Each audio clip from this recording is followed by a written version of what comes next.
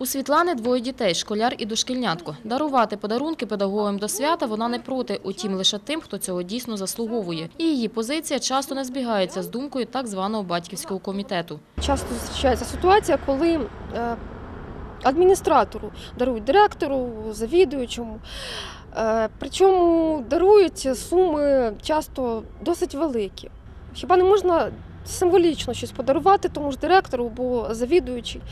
Е, То більшість батьків от відповідають, наприклад, е, а як? Вони ж адміні... це ж адміністратор, е, це ж людина, котра керує. Обов'язково потрібно щось монументальне, е, мінімум за 200 гривень. Рабська психологія, я вважаю. То дарувати педагогу подарунок за роботу, яку йому оплачує держава, чи ні? І скільки має коштувати така подяка в грошовому еквіваленті? Виявляється, що практично всі, кого нам вдалося опитати, заявляють, такий подарунок має бути символічним. Вчителі тратять е, гроші, причому тратять е, для того, щоб потім там якісь там додаткові матеріали робити, друкувати. Ну, якби це був якийсь там папір, канцтовари, книжки, хай буде, таке треба. Їм така допомога треба, в них зарплата маленька. Ну коли носять гроші в конверті, це, це тупо. Якщо дітям вчитель подобається, він діти завжди захочуть подарувати щось від чистого серця. Це може бути квітка, там без різниці, чи дорогий подарунок, чи ні. Найкращий подарунок вчителям це гарне відношення учнів, гарне їхнє навчання, щоб вони навчалися. Мені здається, це справа кожного батька, як він вважає за потрібне.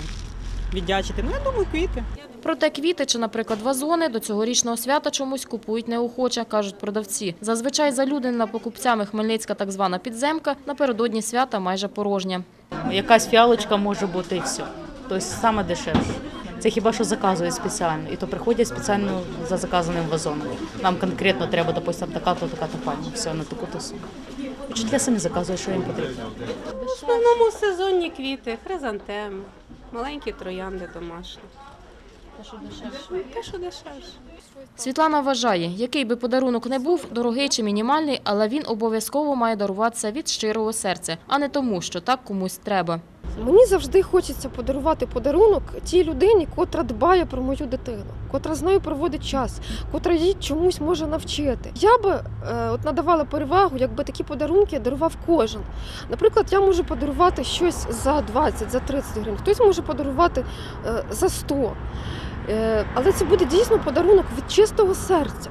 Тому що я так хочу, а не тому, але не тому, що мене змусив батьківський комітет Світлана Золота, Максим Захарченко для інформаційного випуску.